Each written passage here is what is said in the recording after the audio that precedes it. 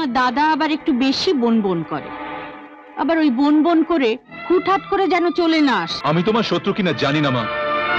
তবে একটা কথা আমি খুব ভালো করে বুঝতে পেরেছি যে মেয়েরাই মেয়েদের সবচেয়ে বড় শত্রু হয়।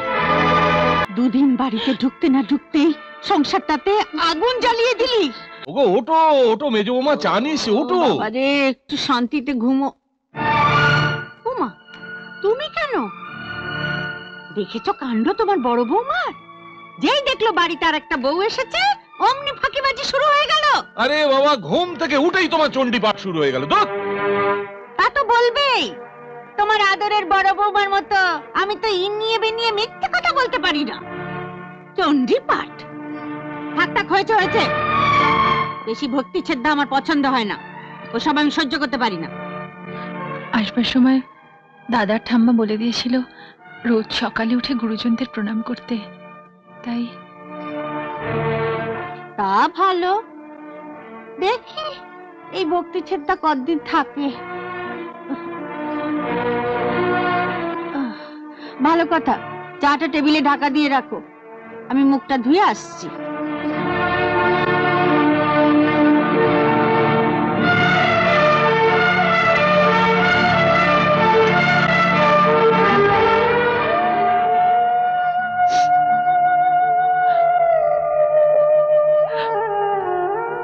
পাখি? মানুষের সব ইচ্ছে পূরণ হয় না রে। দুঃখ করিস না, মা। দেখিস, আমি বলছি তুই একদিন সুখী হবি। হ্যাঁ মা।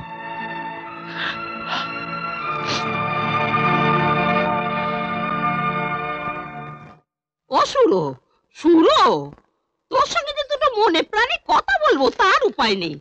চারিদিকে লোকজন সব ঘুর ঘুর ঘুর ঘুর করছে। কি হয়েছে কি বলো না? আমি বলি তোর তো এখন দু দুটো ছেলের বউ। ওদের ঘাড়ি মানদার মক্কদার কাজগুলো চাপিয়ে দে না। চাপিয়ে দেব? হ্যাঁ রে। চাপিয়ে দেব?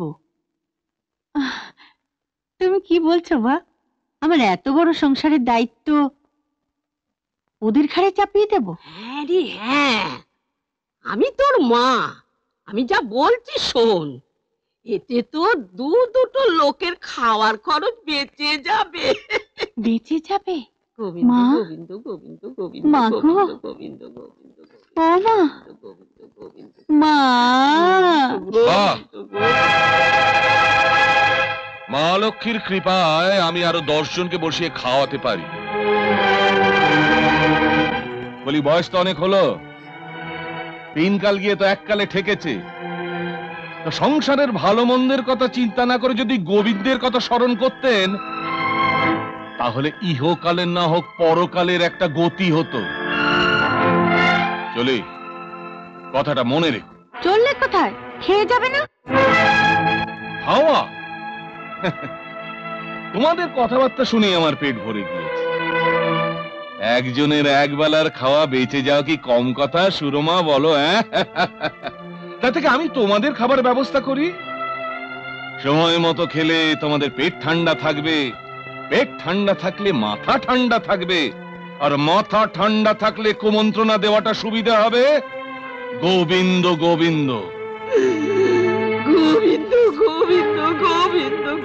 কি রে চুপ করে বসে আছিস যে? যা ওকে আটকা। আমি ওকে আমি ওকে অনেকবার বলেছি দিদি। কিছুতেই রাজি করাতে পারিনি। তুই নিজের অধিকারের জোরে নাকে হ্যাঁ করাবি। ওকে আমি বহুবার অনুরোধ করেছি দিদি। হ্যাঁ? অনুরোধ তুই করেছিস। কিন্তু নিজের অধিকারের জোর তো ফলাসনি। শোন মেজো আমি তোকে বলছি তোর মনের মধ্যে যদি অভিমানের কোনো মেঘ জমা হয়ে থাকে, তাকে অনেক দূরে সরিয়ে দে। তুই নিজের সম্পর্কের জোরে, নিজের অধিকারের জোরে যা। ঠাকুরপুকে আটকা। মেজো, শোন, লক্ষ্মী মেয়ে, আমার কথা শোন। ঠাকুরকে তুই এভাবে যেতে দিস না। যা। আমি বলছি যা যা।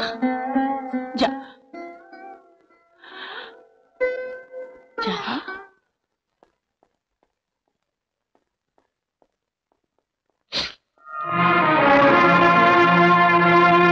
কি হলো? পথ আটকে দাঁড়ালে যে। না খেয়ে যেতে আপনি পারবেন না। তার মানে? আমি তো বলেই দিয়েছি খাব না। তারপরও কোনো কথা থাকতে পারে না। পারে। আর সে কথা আপনার কথা। আমি কেবল আপনাকে মনে করিয়ে দিচ্ছিলাম।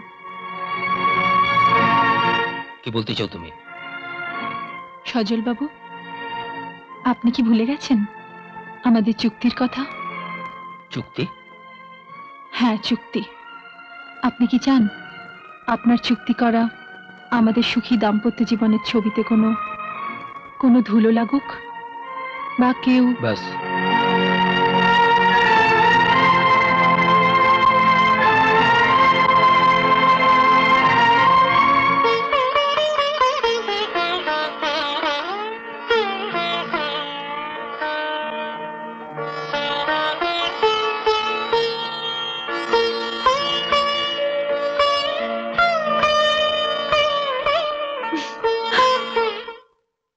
ইটের পর ইট মাঝে মানুষ কীট নাইকো ভালোবাসা নাইকো স্নেহ। কি নতুন বৌঠান অবাক হয়ে কি দেখছিলে? ওই মাল্টি স্ট্রিট বিল্ডিংগুলো না তোমার দেওয়ারের হাতে পোতা গাছগুলো। কিচ্ছু না। তাহলে? আকাশ। জানো ঠাকুরপো এই বাড়িতে এসে আমি এই প্রথম আকাশ দেখলাম। খোলা আকাশ, সবুজ মাঠ, রায়দিঘি, নদীর ধার। বিশ্বাস করো, তোমাকে এই মুহূর্তে দেখে আমার মনে হচ্ছে এই নিস্তরঙ্গ শুষ্ক প্রাণহীন বাড়িতে তুমি যেন কালবৈশাখীর ঝড় হয়ে এলে। হেসো না। দেখো, এই কালবৈশাখীর ঝড়ে একদিন সব কিছু উলট পালট হয়ে যাবে। হ্যাঁ। এই নিন ধরুন। এটা কি চা? পাঁচ কাপ আমি একসঙ্গে বারবার পারব না তাই। আমি যাই ঠাকুরপো। একটু শুনবেন? কাউকে খুঁজছেন? মানে ওই মিস্টার লাহিরিকে বেশ কিছুদিন আগেই ওনারা চলে গিয়েছেন। চলে গেছেন? কোথায় গেছেন বলতে পারবেন? তা তো বলতে পারব না। ওরা তো কারোর সঙ্গে মেলামেশা করতেন না। অবশ্যই ওরা চলে যাওয়ার পর জানতে পারলাম ওদের আসল ব্যবসাটা কি? আসলে আপনার মতো অনেকেই তো আজকাল ওদের খুঁজতে আসছেন কি না?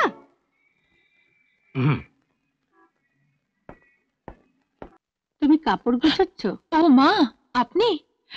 বসুন না। হ্যাঁ বসছি। তোমাকে একটা জরুরি কথা বলতে এলাম। বলুন। সজল। সজল কারও পাশে শুতে পারে না। তুমি আবার যখন তখন ওকে বিরক্ত করো না। আরেকটা কথা। দেখো, খোলাখুলি বলে নেওয়াই ভালো। কি বলো হ্যাঁ? মানে তোমার বাপের বাড়ির সঙ্গে কিন্তু কোনো সম্পর্ক রাখতে পারবে না তুমি। তোমার দাদা আবার একটু বেশি বন বন করে। আবার ওই বন বন করে হুটহাট করে যেন চলে না আসে।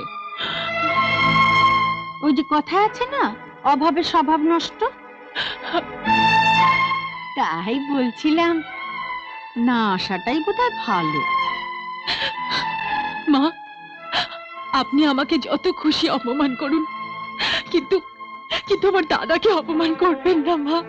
দোহাই আপনার আমার দাদাকে অপমান করবেন। দাদার ওপর যখন এতই টান তাহলে বিয়েটা না করলি তো পারতে না দেবো। এই কাপড়টা বুঝি তোর দাদা দিয়েছে? আচ্ছা দিদা তুমি রাগ করছ কেন বলো তো? মেজে দাদা একটা গায়ের স্কুলে চাকরি করে। কত টাকা মাইনে পায়? আমাদের বাড়ির ড্রাইভারও হয়তো ওর থেকে বেশি মাইনে পায়। তাই না বলো মা? উনি তো উনি তো না স্ট্যান্ডার্ড অনুযায়ী দিয়েছেন, ওনার কি দোষ? বাহ।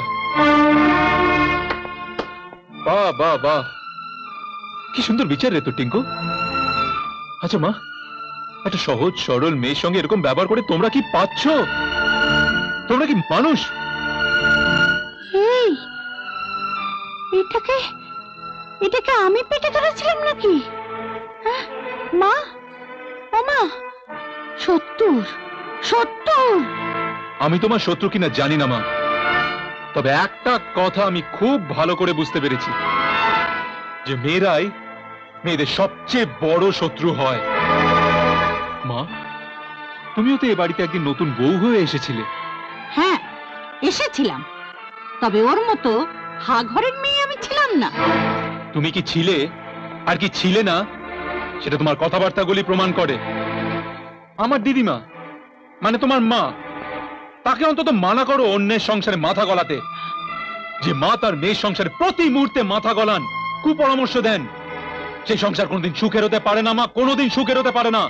সে সংসারের সর্বনাশ হয়। কি? আজ তোর কাছে দিদিমা মা সব পর হয়ে গেল? ওই বুনো জঙ্গলি মেয়েটা তোর আপন হলো? ওই গাইয়া মেয়েটার জন্য তুই আমাকে অপমান করলি? বেশ আজ আসুক আসুক তোর বাবা। এর একটা হেস্ত নেস্ত আমি করেই ছাড়বো। হ্যাঁ হ্যাঁ আমিও তাই চাই মা আমিও তাই চাই। আর একটা কথা বুনো গাইয়া জঙ্গলি যাই হোক না কেন নতুন বৌঠান কিন্তু নিজে হেঁটে বাড়িতে আসেননি। তাকে বাবা পুত্রবধূর মর্যাদা দিয়ে বাড়িতে এনেছেন। তাই তোমার দিদিমার বা টিঙ্কুর তাকে অপমান করার কারও কোনো অধিকার নেই।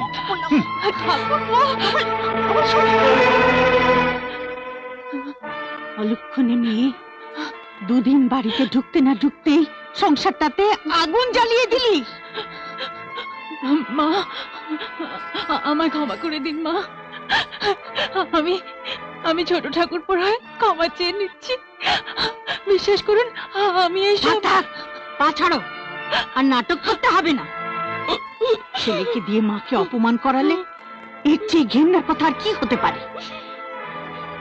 অলক্ষী অলক্ষী।